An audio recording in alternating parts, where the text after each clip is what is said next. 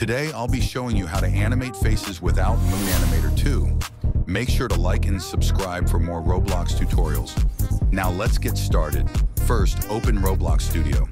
Next, go to the description of this video and copy the script I gave you. Now insert a script inside your rig and paste the code there. After that, rename your rig to anything you want and then replace dummy in the script with that name.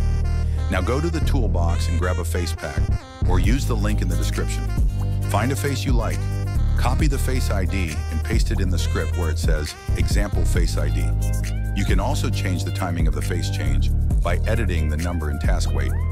It's currently set to 3 seconds. Make sure your rig already has a face decal on the head or the script won't work. And that's it. Now you know how to animate NPC faces in Roblox without using Moon Animator 2. If this helped, don't forget to like, comment, and subscribe for more awesome tutorials. Bye.